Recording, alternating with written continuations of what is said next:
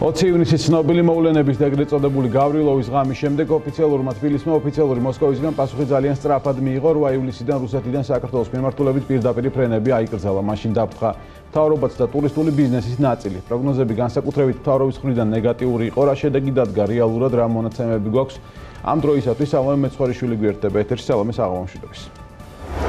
სექტემბერში პირველად საქართველოს მეტი ფული მიიღო ევროკავშირის ტურისტებისგან ვიდრე რუსეთიდან. ეს ამონარიდია ეროვნული ბანკის პრეზიდენტის გუშინდელი განცხადებიდან, როდესაც მონეტარული პოლიტიკის ანგარიშზე გვიყვებოდა. და ალბათ ეს არის ყველაზე გასაგები მაჩვენებელი, რა მივიღეთ რუსული ავიასანქციების შემდეგ. კარგია ეს ქვეყნისთვის თუ ცუდი? ანუ თუ რუსული ავიასანქციების შედეგი ბაზრის დივერსიფიკაცია და უფრო მაღალმხარჯველი ევროპელი ტურისტების მოზიდვაა, მაშინ კითხვაზე გვარგო თუ გვანანა კრემლის სანქციებმა პასუხი მარტივია. გვარგო. ოღონდ გრძელვადიან პერსპექტივაში. ამ ეტაპისთვის საქმე მთლად ასე მარტივად არ არის. რიცხვებს უნდა ჩავხედოთ. 2019 წლის 9 თვეში საქართველოში სულ 7 მილიონ 240.000-მდე საერთაშორისო მოგზაურის ვიზიტი შედგა, რაც წინა წლის ანალოგიურ პერიოდს 6.6%-ით აღემატება.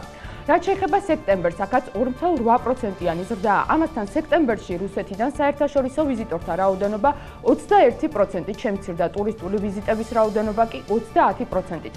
მიუხედავად ავიასანქციებისა და ვიზიტების შემცირებისა, რუსეთი კვლავ პირველ ადგილს იკავებს საერთაშორისო ვიზიტორების მიერ განხორციელებული ვიზიტების მიხედვით.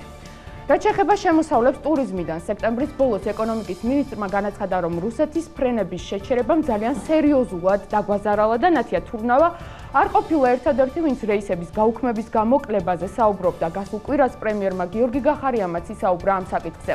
პრესამსახურის მიერ გავრცელებულ პრესრელიზში პრემიერს ციტირებდნენ, სადაც ის 350 მილიონ დოლარიან კლებაზე საუბრობდა საქართველოს ბიუჯეტში. მოგვიანებით განცხადება ჩასწორდა 350 მილიონი ლარიანი დოლარიანი კლება 350 მილიონ ლარიანი კლებით შეიცვალა. ეროვნული ბანკის მონაცემებით 2019 წლის სექტემბერში საქართველოს ტურიზმიდან 318 მილიონი დოლარი გამოიმუშავა, რაც 2018 წლის ანალოგიურ მაჩვენებელთან შედარებით 16.9 მილიონი დოლარით ნაკლებია. ჯამურად ივლის-სექტემბრის მონაკვეთში საქართველოს ტურიზმიდან მილიარდ 126 მილიონი დოლარი მიიღო, რაც 2018 წელთან შედარებით 83.7 მილიონი დოლარით ნაკლებია. მოკლედ, კლება გვაქვს, მაგრამ არც ისეთი, როგორცაც პროგნოზირებდნენ.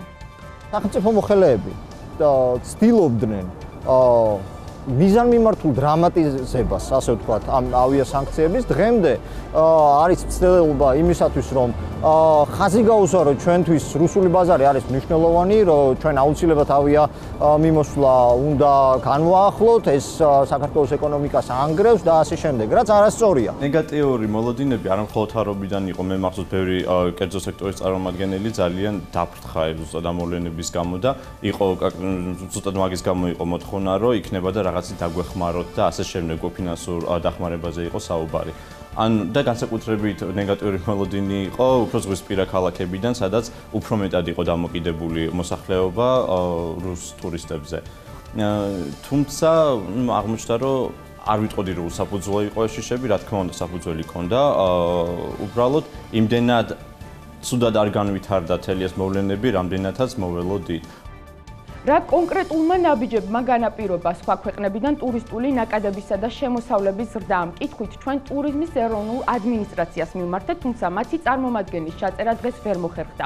ამიტომ ისე ბიზნესის აზრით დავინტერესდით ამასთან დაგვაინტერესა შეასრულა თუ არა ტურიზმის ეროვნულმა ადმინისტრაციამ ტურიზმის სექტორის მიერ შედგენილი 10 პუნქტიანი გეგმიდან რომელიმე.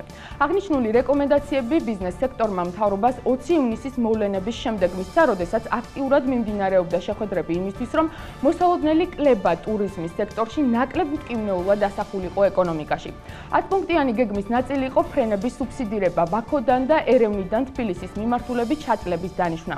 საგადასახადო შეღავათები ბიზნესისთვის დიპლომატიურ კორპუსთან აქტიური მუშაობა, ტურ ოპერატორების PR კამპანიების გააქტიურება და ასე შემდეგ.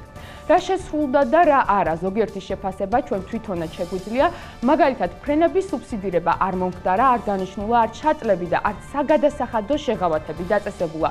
დანარჩენ პუნქტებზე კი პასუხი ტურიზმის ადმინისტრაციამ უნდა გასცეს. საუბარი იყო საბანკო შეღავათებზე. კონკრეტულ იმ მოწყლა ჯგუფებზე, ვისაც დაარტყა ამ სანქციებმა. რომ რამდენადაც ვიცი, ამ მიმართულებითაც ბევრი არაფერი გაკეთებულა. ყოველ შემთხვევაში მე ინფორმაცია არ მაქვს, რომ კონკრეტულმა რაღაცა ჯგუფებმა ამ შემთხვევაში შავი ზღვის პირეთში რაღაცა შეღავათები მიიღეს. მედითი ნაბიჯები ნაბიჯები დამატებით ადგილზე ლოჯისტიკის გასამარტივებლად ან რაღაც შეღავათების დაწესების კუთხით ჩემთვის უცნობია. ბევრ სტრუქტურას მიუძღვის დამსახურება ამ ყველაფერში, მათ შორის არ მხოლოდ ტურიზმის ადმინისტრაციას, არამედ კერძო სექტორსაც. პირადად ჩემი კომპანიის სახელით ვისაუბრებ იმ გრუპმა, მაგალითად, უკანასკნელი რამდენიმე თვის განმავლობაში, რამდენჯერმე გააკეთა უფასო ინფოტური უცხოური კომპანიებისთვის საქართველოში, ანუ ჩვენ ვცდილობთ ხელი შევუწყოთ ადგილობრივ ტურკომპანიებს, რომ ახალი კავშირები შექმნან საზღვარგარეთ.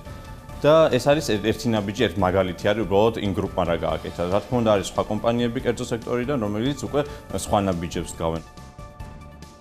რუსეთიდან ვიზიტორები მცირდება სამაგიეროდ სხვა ქვეყნებიდან დინამიკა მზარდია. მანამდე ჩრდილოელი მეზობლიდან საქართველოსი ტურისტების და ძალიან სწრაფი ტემპებით მიმდინარეობდა და იმდენად სწრაფადაც კი რომ სხვადასხვა შეფასებით ავიასანქციები რუსეთს ორი წლის შემდეგ რომ დაეწესებინა ეს მართლაც დაანგრევდა ქართულ ტურისტულ ბაზარს. მოკლედ კრემლის გაკვეთილებმა 2006 წლის ემბარგოს და წლევანდელი სანქციების შემდეგ ალბათ ბევრი უნდა გვასწავლოს და პირველ რიგში ის რომ საქართველოს არც ერთ ქვეყანაზე არ უნდა იყოს დამოკიდებული. მადლობა სალომე მეცხარიშვილს